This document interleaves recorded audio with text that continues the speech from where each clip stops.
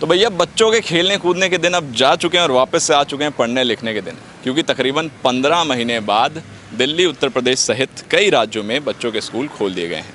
आपकी जानकारी के लिए बता दें, देखिए, तेईस अगस्त से छठी से लेकर के आठवीं तक के बच्चों के स्कूल खोले गए थे और एक सितंबर से पाँचवीं तक के बच्चों के भी स्कूल अब खोल दिए गए इस पर बच्चों की राय लेने के लिए हम इस वक्त मौजूद हैं। नोएडा का ये बाल भारती पब्लिक स्कूल है।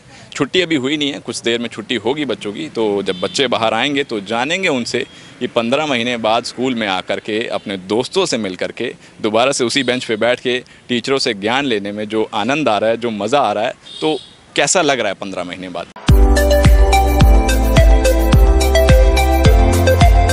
अच्छा लग रहा है। आफ्टर सो टाइम बहुत रिलीफ है कि फाइनली स्कूल में लास्ट ईयर में। तो मुझे ये बताइए ऑनलाइन क्लासेस ज़्यादा बेहतर थी या ऑफलाइन में ज़्यादा मज़ा ऑफलाइन ज़्यादा बेटर है कॉन्सेंट्रेशन ज़्यादा होता है। तो क्या ऑनलाइन में उतना इंट्रैक्शन या फिर वो नहीं मिल पा रहा था क्या? अ, मतलब इंट्रैक्शन हो रहा था बट बहुत ज़्यादा फ़ोन में डिस्ट्रैक्शन से सोशल मीडिया इन सबसे तो ऑफलाइन ज़्यादा और बताइए फैमिली कैसा रिएक्ट कर रही है कि मतलब खुश है कि बच्चे स्कूल जाने लग गए या फिर ज़्यादा परेशानी हो रही थी घर में आप लोग थे तो? ऐसा नहीं खुशी है कि अब जाके पढ़ रहे हैं एटलीस्ट कैसा लग रहा है आप सभी को स्कूल में वापस आके? बहुत अच्छा लग रहा है। थोड़ा ज़ोर से बोलो। बहुत अच्छा लग रहा है। तो कोई एक मुझे बताया कि कोविड के कौन कौन से प्रोटोकॉल्स है जो स्कूल में फॉलो किए जा रहे हैं? या कुछ नहीं हो रहे। सारे फॉलो हो रहे सारे हर टीचर हम दूर खड़े होते हैं। हर टीचर मास्क लगा करके पढ़ा रही छोड़ है। के बैठते हैं। एक एक सीट छोड़कर सोशल डिस्टेंसिंग एक चीज़ मैं आपको बताऊँगा सबके फेस पे मास्क लगे हुए हैं तो इससे ये ज़रूर पता चल रहा है कि कोविड के प्रोटोकॉल्स फॉलो किए जा रहे हैं। बहुत अच्छा लग रहा है। ऑनलाइन क्लास में पढ़ाई होती है, पर जो फ़िज़िकल में होती है, उतनी नहीं हो पाती। और ऑफलाइन में आकर अपने फ्रेंड से मिलना है और बाकी कॉन्वर्सेशंस हो रही हैं तो बहुत अच्छा लग रहा है। तो तो ज़्यादा अच्छा लग रहा है फ्रेंड से मिल करके या फिर टीचर से मिल करके किससे अच्छा लगा? दोनों ही अच्छा लग रहा है। नई टीचर्स आई थी हमारी टेंथ में और हम उनसे एक भी बार मिल नहीं पाए थे तो अब फाइनली मिल रहे हैं अच्छा लग रहा है। ओके तो निधि को टीचर से मिलके अच्छा लग रहा है नई टीचर आई थी। एक और चीज़ जानना चाहूँगा निधि कोविड के जो प्रोटोकॉल्स हैं स्कूल में जो फॉलो किए जा रहे हैं कौन कौन से वो प्रोटोकॉल्स हैं कुछ बताइए।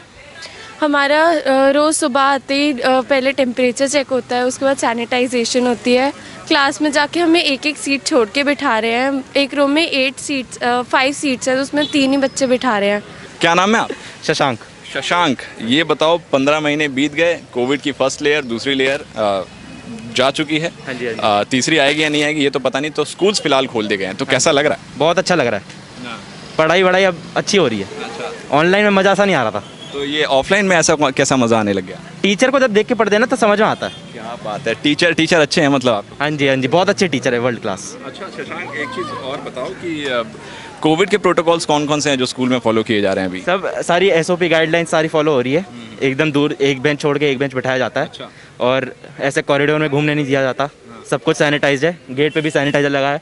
तो तो, तो ये कॉरिडोर में घूमने नहीं दिया जा रहा तो मेरे को लग रहा है बंक वंक आप लोग कर नहीं पाते नहीं कर पाता सर बिल्कुल नहीं। तो बड़ी मुश्किल है। मगर आपको देख कर तो लग रहा है आप तो बंक करते हो मैं नहीं करता मैं पढ़ाई पढ़ा लिखा हूँ मैं बहुत अच्छा पढ़ता लिखा कौन सी क्लास में पढ़ते हो? ट्वेल्थ ट्वेल्थ में हो? हाँ जी हाँ कौन सी stream science stream P C M PCM वाह जाबाज लड़का है पीसीएम स्ट्रीम ले रखी है लड़के ने वेरी गुड क्या नाम है?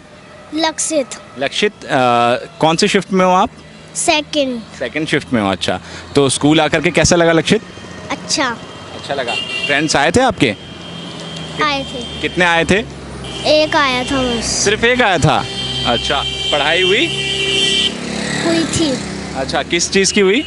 ईवीएस और इंग्लिश अच्छा ईवीएस और इंग्लिश की हुई थी। अच्छा लक्षित ये बताओ मैडम लोग आई थी या नहीं आई थी? आई थी सारी क्लास की। सारी क्लास की मैडम आई थी। और तुमको कुछ ये हाथ वाथ धोने के लिए सैनिटाइजर वैनिटाइजर दिया? नहीं दिया?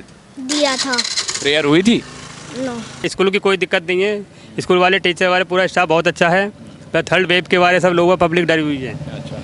अगर ये थर्ड वेव नहीं आएँगी तो बच्चे कोई भेज नहीं सकते अपने स्कूल कोई दिक्कत तो, नहीं है। तो ऐसे में देखिए लक्षित ने बताया कि एक ही इसका दोस्त आया था आ नहीं रहे हैं बच्चे तो फिर ऐसे तो मुश्किल हो जाए तो क्या लग रहा है फिर वापस? ये रहा सब थर्ड वेव से डर रहे हैं सर। अगर थर्ड वेव की वो कर रहे हैं इंतज़ार कर रहे हैं अगर थर्ड वेव के बारे में शायद स्कूल में आ सकते हैं बच्चे।